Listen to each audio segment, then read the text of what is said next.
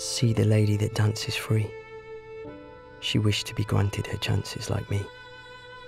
See her in all her elegance, the hard work and beauty that make up her elements. The lady that dances has a story like mine. I'll take you back to that moment from my time. It began way back before my choices had been chosen. A time when I was young and my mind was brand new and open. I used to dream of the future's possibilities, because all that laid ahead was a neverland of opportunities. Then we all grow up into our distant society with the rules and the roles, and I struggled with it silently.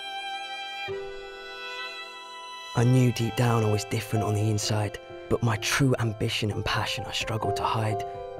I told people I wanted to be on TV, but they said I'd never be good enough for this world to see me.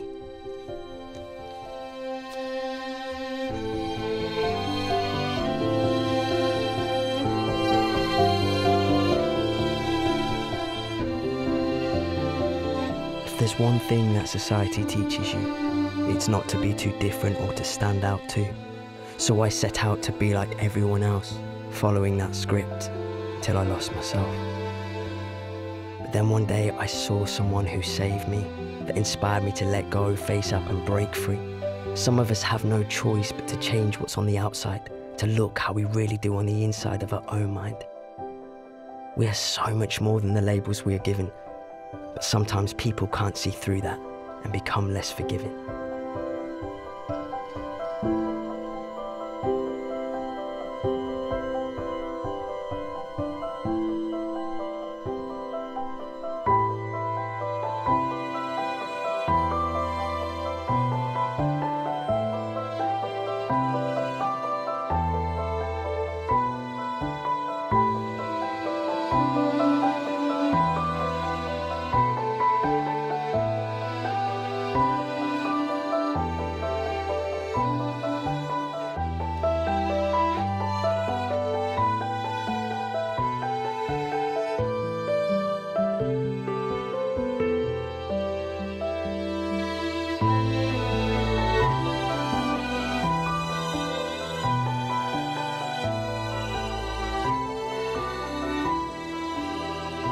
I didn't let it stop this creativity. I've worked too hard to gain this life's liberty. I had to learn to love and embrace those imperfections, rising through the judgment, the rejections. I had days where I had to work myself up from zero, but I finished every single day being my own journey's hero. Because it's our own minds that become the real opponents.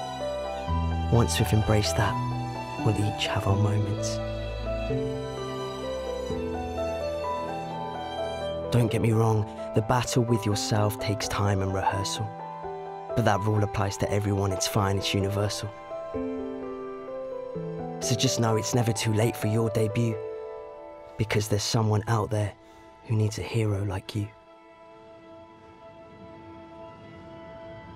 And as the world continues with its advances, there'll be less labels and more talents like the lady that dances.